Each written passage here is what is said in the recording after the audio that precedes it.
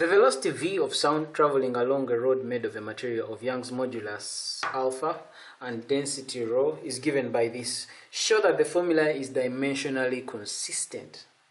So of course dimensional, to show that a formula is dimensionally consistent means that we're supposed to get the dimensions of the quantities on the left hand side, get the dimensions on the right hand side, the dimensions of the quantities on the right hand side, and if the two quantities are the same, it means that formula is dimensionally consistent. Now, since our question is telling us to show that the formula is dimensionally consistent, it means that here we are simply supposed to be showing that this the dimensions of v are the same as the dimensions of this whole thing. So we'll get started with what is on our left hand side.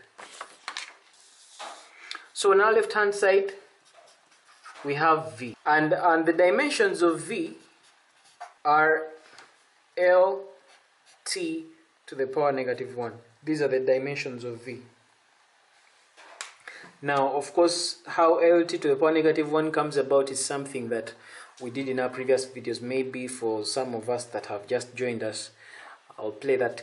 Let, let, let's go back to how we get the dimensions for velocity. So velocity dimensions of velocity is going to be equal to our displacement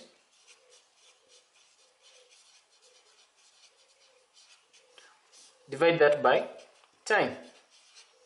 So we look for the dimensions of displacement and what are the dimensions of time. So now displacement is actually a length.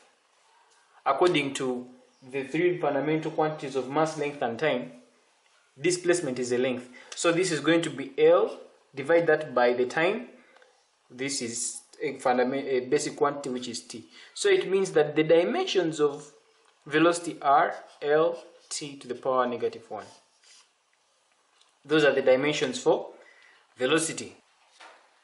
We'll back from that flashback. So that's uh, how we get v the dimensions of velocity. So now we this is our left hand side. So let's go ahead and look at the right hand side on our right hand side we are having uh, alpha over that. So we need to find the dimensions of alpha the dimensions of this. Now the dimensions of alpha which so happens to be according to our question the dimensions of alpha alpha is actually Young's modulus. So what's the formula for Young's modulus?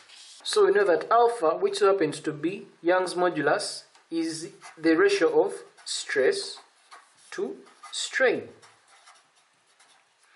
And we know that stress is given by force over area.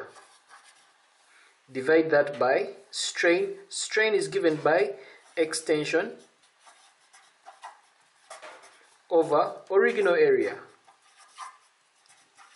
It's actually extension over original length. So we know that force is mass times acceleration, divide that by area, multiply that by original length, we make find the reciprocal of this. Original length is just in a length, divide that by extension. So the dimensions of these, the dimensions of that, the dimension of this, the dimension of length, the dimension of that. This is given by, so we have force is equal to mass, that is the dimensions of mass is capital M. The dimensions of acceleration is L t to the power negative 2. Then divide that by the dimensions of area that is given by area is equal to length times width. So it means it is L squared. Multiply that by this is original length which is a length over extension. Extension is also in terms of length. So of course definitely here it's going to turn out to be this L can cancel with that L.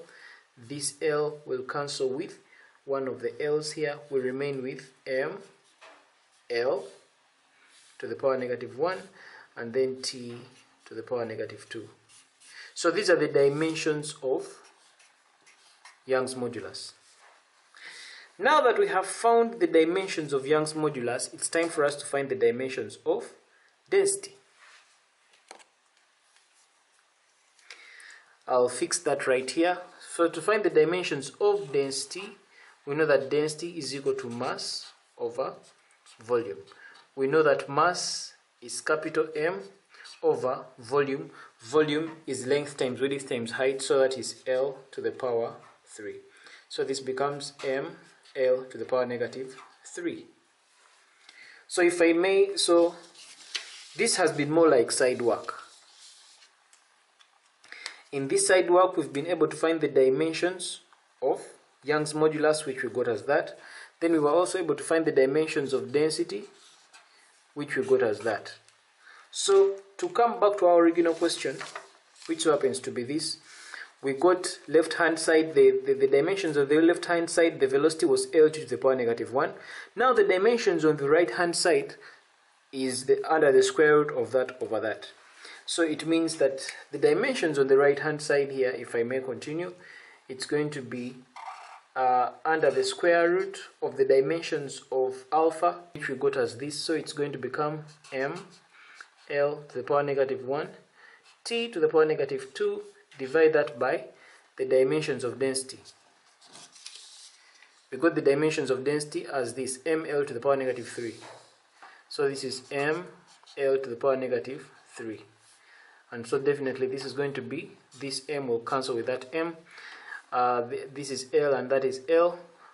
Uh, we, we subtract the powers. So this becomes negative 1 minus negative 3 we remain with uh, under the square root of L, L to the power 2, and this definitely is, remains t to the power negative 2.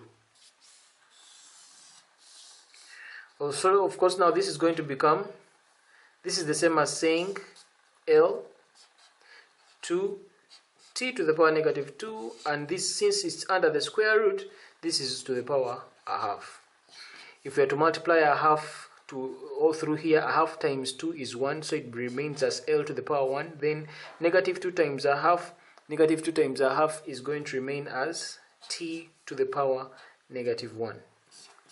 Now you realize that at first all the dimensions of velocity were L to the power negative 1 and it's the same as Lt to the power negative 1. So we shall conclude by saying that that since the dimensions on the right on the left hand side are equal to the dimensions of the right hand side. Therefore this equation right here is dimensionally consistent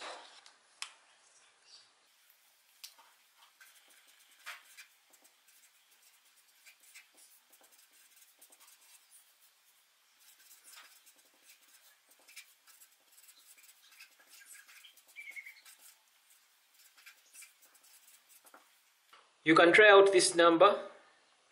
If you need me to make a video on this number, the solution, please let me know in the comments below.